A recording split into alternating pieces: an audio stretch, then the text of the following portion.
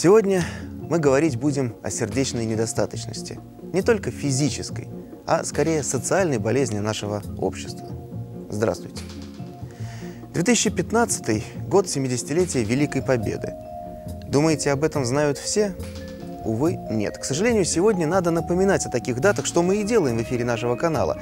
Но вот то, что совсем недавно, на прошлой неделе отметили 71 год полного снятия блокады Ленинграда, широкой общественности, боюсь, и вовсе неизвестно. Тем не менее, торжественные мероприятия прошли, как говорится, и бюджеты освоены, а вот в сердца достучаться получилось далеко не всем. К чему это я?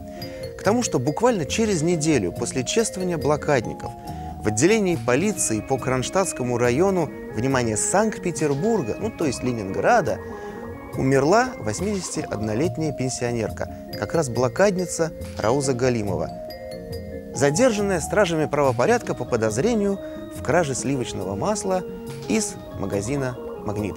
Возможно, в силу состояния здоровья она не отдавала отчета своим действиям. По мнению знакомых, родственников ее, она жила на пенсию в 25 тысяч рублей, блокадная пенсия, ни в чем не нуждалась и, скорее всего, просто забыла оплатить три пачки масла на кассе. Ну, возраст 82 год ей шел. Что тут скажешь? Развязалась бурная дискуссия в социальных сетях, и хозяин «Магнита», известный, медийный человек, миллиардер Сергей Галицкий, он, полемизируя с читателями своего твиттера, в конце концов признался. Так и написал, что в случае с бабушкой, пережившей блокаду, не надо было так делать его сотрудникам, сдавать ее в полицию. Да? Совсем пожилая женщина, наверное, надо было в полицию не обращаться. Но миллиардер к этому мнению пришел не сразу. Сначала он отбивался от нападок возмущенных людей тем, что, дескать, в его магните есть инструкция. По обращению в полицию и персонал магазина действовал четко по ней – Галицкий так и пишет. У нас правило, он оправдывается, да, пишет, что если кто-то что-то украл, мы вызываем милицию, директор действовал строго по инструкции. Милиция приехала, бабушку взяла, отвела участок, а дальше там, по сути, человек, переживший блокаду, умер от стыда. Вот слово «инструкция», да, бессмысленное, беспощадное, вот это ключевое слово. И она превращает в зомби людей, которые это исполняют.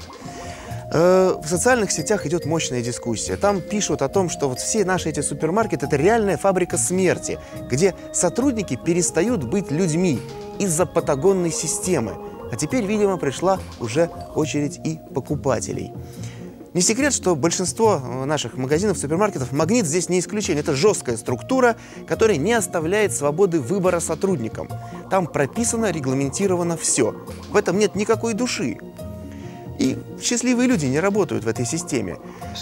Говорят, что за полгода работы в том же Магните, да и в других магазинах человек может превратиться реально в зомби, который просто тупо исполняет инструкцию.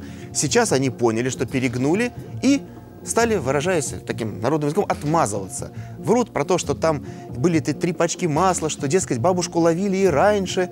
А что ж тогда отпускали раньше, не исполняли инструкцию? Ну и потом, если вы такая системная компания, давайте завтра примите, наконец, другую инструкцию, человеческое объявление. Не сдавать в полицию пенсионеров после 65 лет. Ну, спорим, не будет этого. Надеюсь, что всем участникам этой истории эти несчастные 300 рублей будут вспоминаться и каться в ресторанах, кабаках и в разных развлекательных заведениях, недоступных для стариков. Может быть, они поймут, что старость – это то, перед чем все должны склонять головы помогать, а главное – прощать. Ибо эта старость настигнет каждого из нас, и нет в ней ничего радужного.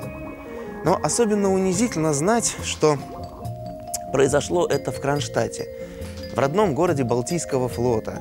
А что такое для Ленинграда моряк, защитник, гордость, особая любовь? Сколько историй, легенд сохранилось о том, как, оказавшись в блокадном городе, офицер, матрос, солдат – отдавал свой скудный паек голодным горожанам.